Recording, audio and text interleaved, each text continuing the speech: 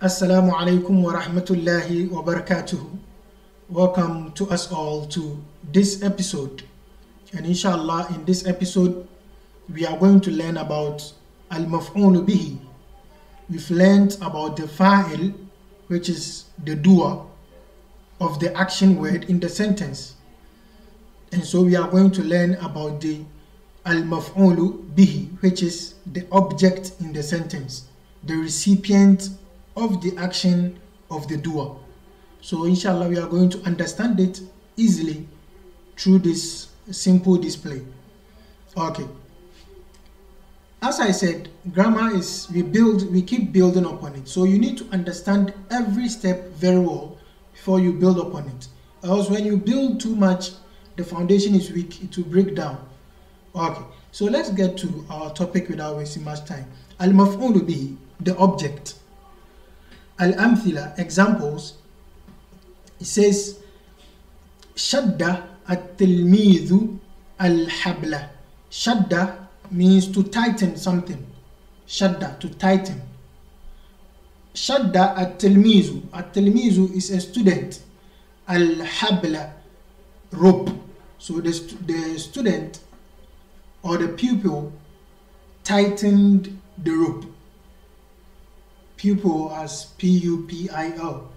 A tilmiz is sometimes referred to that, and a talib is generally a student. A tilmiz sometimes specifically pupil, that P-U-P-I-L word. So shadda tilmizu al-habla, the student tightened the rope. Tawat, example number two, tawat al-bintu, so tawat al-bintu al-thawba. The verb is tawa, it's tawa, and there is a yai here uh, alif maksura. Al alif maksura, the alif that looks like yai. The alif that looks like yai without the dot. Just the writing of yai, but without the dot. So tawa, that is the verb, and it means to fold. So he says here, tawatil bintu athawba. The girl folded the dress. Athawb is the dress. Akela الذئب الخروف الذئب is wolf a wolf that is what it's called الذئب and then al-kharuf is sheep al-kharuf sheep okay example number four يربح السابق جائزة السابق we've seen the, the, the, the word سبق سبق a lot In that sense, it meant the previous examples. The previous examples. But in this sense, sabiq is the winner. When you are doing competition, competition is called musabaqa. Musabaqa, from the verb sabaqa, to compete with. So if we say a sabiq, that is the one who comes as the winner in a competition. So he says, yarbahu Asabiku Jaizatan. The winner earns a reward. Jaiza is a reward. And Yarbahu is from Rabiha. Rabiha is to, to earn, to, to get profit. Okay. Here Yarbahu Sabiku Jaizatan. The winner gets or earns a reward.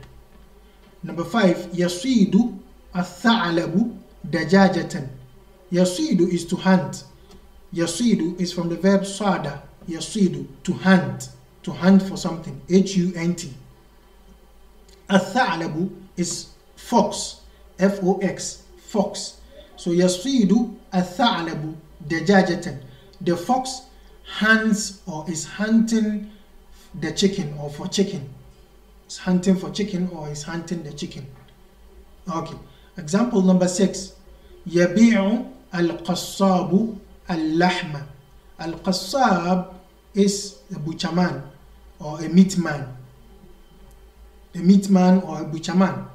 So يبيع from ba'a, يبيع to sell. يبيع al-qassabu, the butcherman sells al-lahma, meat. Al-lahm is meat, M-E-A-T. Okay.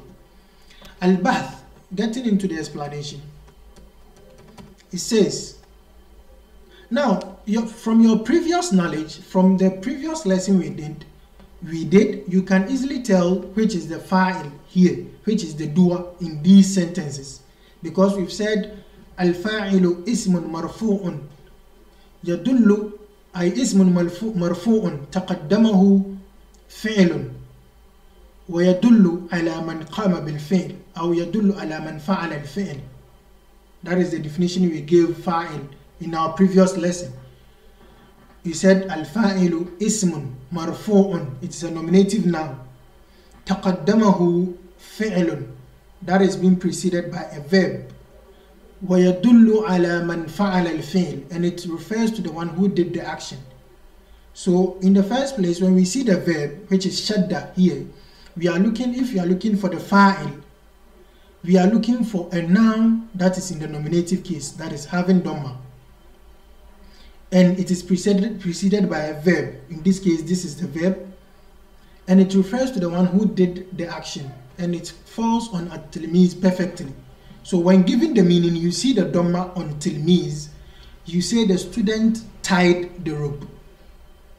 You get to know that the student is the one doing the tying. Okay. And then we look at toward, this is the verb, and then this is albintu. There is a doma here, but not apparent, I think, in the text.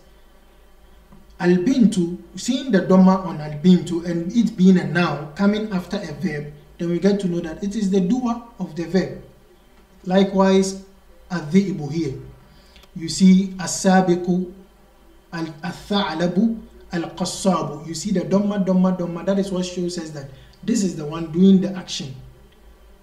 Okay.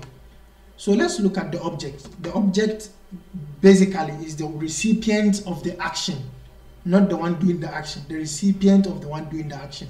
I think it is just as it's in English. Okay. There's al-bahsu. Kullu jumlatin. As I've said, the kasra is not here, but I know if kullu comes, the word that comes after it should take kasra. So I will read kullu jumlatin. Each sentence من الجمل من الجمل السابقة from the previous sentences مركبة من this is our expression مركبة من formed from composed of so each sentence among the previous sentences is composed of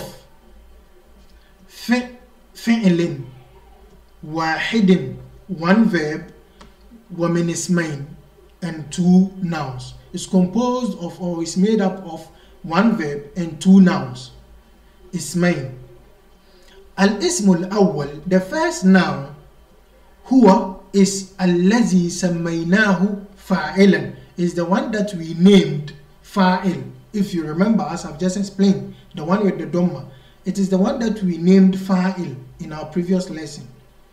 لأن الفعل صدر منه Sodara minhu means to come from. If you say Sodara, if you say something Sodara min, our Sodara an, that is, it came from. So Hazad Darsu, a Darsu, Yasduru minni. This lesson, Yasduru anni, afwan. Hazad Darsu, Yasduru anni. This lesson is coming from me.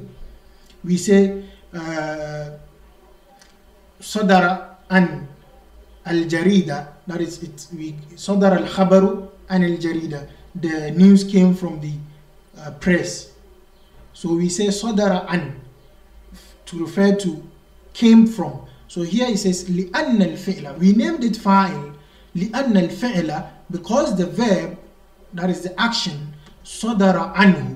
The action came from this now that we named fa'il. So if we say yasidu atha'alabu dajajatan. Atha'alabu because of the dhamma, we say it is the one that sodara minhu, sodara anhu al-fi'l. Al-fi'lu. The fi'l, the action came from this particular noun. Okay. وإذا بحثنا في الأمثلة الثلاثة الأولى and if we check in the first three examples, as usual, the first three are these ones. One, two, three. These are the first three examples.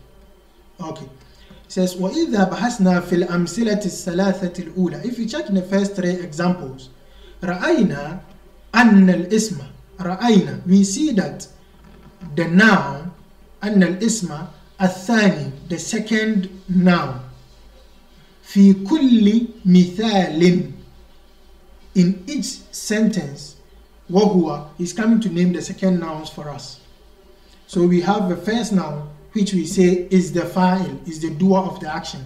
And the second noun, he's coming to talk about the second noun. So shadda at-tilmizu, at-tilmizu is the first noun, al-habla is the second noun. So he says, wahuwa, al-hablu, the rope, al-thawbu, the dress, al-kharufu, the sheep. These are the second nouns in the first three examples.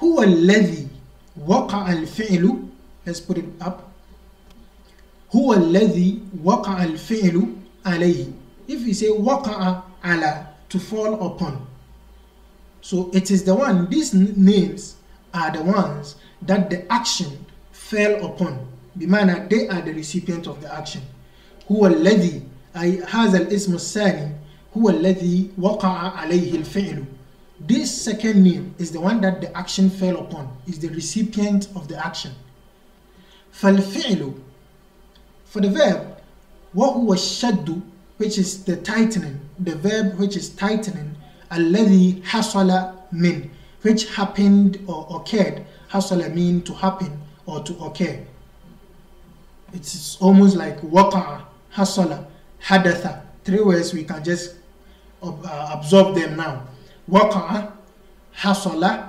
حدث these three means to happen okay فالفعل وهو الشد so the action which is the tightening الشد tightening الذي حصل من التلميذ which occurred from the student which the student did وقع على الحبل the rope is the recipient it fell upon the rope so we have hadasa min such like sadara an had hasala min it's like um, sodara an. Okay. So he says this second noun is the recipient of the action. So he says waqa'a al habl. So the action of the tilmiz fell upon the rope and the rope here is the recipient. What The folding, which is the verbal noun of the Torah, the folding, الذي فعلته البنت the folding which the student, uh, the girl did, وقع على الثوب. It, it, it fell upon the dress. So she folding, the dress is the recipient of her action of folding. والأكل and the eating الذي صدر من. so you see, sodara min, hasala min, sodara an, hadatha min. They all go with the same meaning. Wal aklu alladhi sodara min. And the eating which occurred by adhibu, the wolf, waqa'a ala al-kharuf. It fell upon the kharuf. So the kharuf, which is the sheep, is the recipient of the action of the wolf which is eating فالتلميذ the student والبنت and the girl والذئب and the wolf كل واحد من هذه فاعل each one among these is called fa'il as I've already explained previously the ones with the dhamma who are the ones doing the action those are what we call fa'il as we've explained in the previous lesson okay wal hablu and the rope wal thawb and the dress wal kharuf and the sheep كل واحد من هذه each one among these وقع عليه الفعل the action fell upon it or it is the recipient of the action ويسمى and is called it is called maf'ulun or maf'ulan here because it is called it becomes maf'ulan bihi it becomes the object. So in any sentence or in any verbal sentence when you see a verbal sentence you are looking for a verb. The verb will tell you what is happening here. Is it running? Is it eating? Is it dancing? The verb will tell you this. And then what you are looking for again is another noun that has dhamma, which is the one doing the action that you've just read. So you look for a noun when you see akela, eating, then you are looking for something. And then you see al waladu, okay, the boy has eaten. Then you are looking for what again? Maf'ulun bihi. You're looking for the object. What did the boy eat? So you see akala al waladu dhamma at ta'ama with fatah. At ta'ama, it will have fatah. So that's the one that is receiving the action is what we call maf'ulun bihi. Okay, it says وَكَذَلِكَ يُقَالُ فِي بَقِيَّةِ الْأَمْثِلَةِ as we've seen this expression severally. And likewise is said in the other, in the remaining examples. وَإِذَا تَأَمَّلْنَا And if you should look through أَوَاخِرَ الْأَسْمَاءِ أَوَاخِر This word is the plural of آخِر. Sorry. This word here that we have here, أَوَاخِر, is the plural of آخِر, the ending, the tail of something.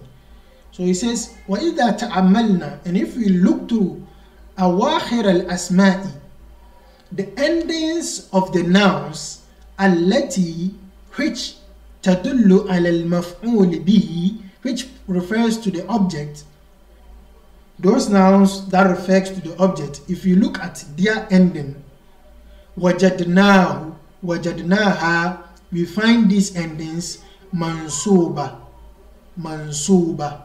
Mansuba bimana, it is having fatha. It is having fatha. As I've said, the fa'il, we said the endings of the fa'il is marfu. And we said the basic sign of marfu what will let us know a word is marfu is the dhamma at the end and here we are saying that what will let you know that this word is the object or what will let us know that this object here is actually true is that we see a fatha at the ending. And I said the fatha and the dhamma, they are basic signs, not just the only signs. But for now, we understand them to be the sign. So Dhamma is the sign for marfu and Fatha is a sign for Mansub. So when you hear Mansub, you are thinking about Fatha. When you hear marfu, you are thinking about Dhamma. Okay.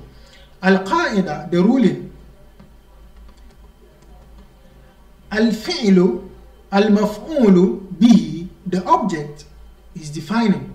Ismun mansubun is a nominative noun that is has Dhamma, Mansub. You keep your fatha there. Ismun Mansubun is a nominative noun, and now with fatha. Waqa'a alayhi fi'lu al-fa'ili. The action of the doer fell upon it. That is how we define it. Al-maf'ul bihi ismun mansubun waqa'a alayhi fi'lu al-fa'il. The object is a noun that is in the accusative form. Mansub is accusative. Sorry, I think I said nominative. Mansub is accusative.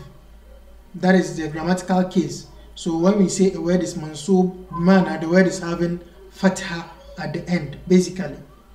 So al-maf'ul bihi, this is the definition, you memorize it. Let me clarify it once again in a form of conclusion.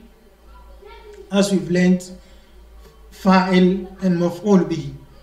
These sentences that we have, let's use about two, two, two of these sentences. One here, one here. I think that will be fine. Okay, so we have the first sentence that we have is Shadda at-tilmidhu al-habla. So in another, another, another a person who has learned Arabic, you've learned about fa'il, you've learned about fa'il madi, you've learned about fa'il, you've learned about maf'ul bihi. When you see such a sentence, grammatically it should be very easy for you. Understanding it should be very easy for you. You have a sentence, shadda, that is your verb. Shadda, tighten. At-tilmizu, the student. Al-habla, the rope. When you see such a sentence, who is doing what? Now, because this is a rope, it seems easy. I'll bring another example which will make it a bit complicated. But when you see two nouns after a verb like this, the one doing the action is the one carrying the dhamma. That is the one doing the action. And the one carrying fatha is the one receiving the action, is the object. So we have at-tilmizu being the fa'il. And it is marfu' it is having dhamma, it is marfu', that is, it is nominative. It is in the nominative case. And al-habla is the maf'ul bihi. Al-maf'ul bihi that we've just studied now. Because why? It is carrying fatha. It is mansub. It is in the accusative form. Okay, let's take this. This is past tense verb. And here we have yarbahu, present tense verb, earns. As-sabiqu, so earning, who is doing the earning here, is the one with the dhamma. As-sabiqu. And who is the, what is the object in this sentence? We have ja'izatan, fatha here. Ja'izatan, that becomes the object in the sentence. So asabiku is fa'il and ja'izatan is al-maf'ul bihi. Now again, this sentence I mentioned from the verse in the previous lesson, the lesson and the fa'il. Let's bring it back. We had the sentence qatala Dawudu Jaluta. Qatala, he killed. Who killed? Then we have two nouns, Dawudu and Jaluta. Now, what will make you tell this Dawudu is a human being, Jaluta is also a human being? How would you know who killed who? The only thing that will tell you is that Dawudu is ending with Dhamma. So it is the one doing the, the noun Dawudu, the person Dawood, is the one doing the killing. And Jaluta, carrying Fatha, being Mansub, is the recipient of the killing. So Dawood killed Jalut. That is how you end up understanding the sentence. So let's try to grasp this and also memorize the definition. Let's not take it like try to strengthen our understanding in any field. And whenever anything tries to be dark for us, cloudy, and we don't get it well, let's do well and ask questions. Just ask any question that comes to mind. Anything that is unclear for you, ask for it to be clarified. Nahu means clarity. It needs to be understood very well. Okay. Okay, so till we meet again, have a nice Arabic grammar time. السلام عليكم ورحمة الله وبركاته. باي باي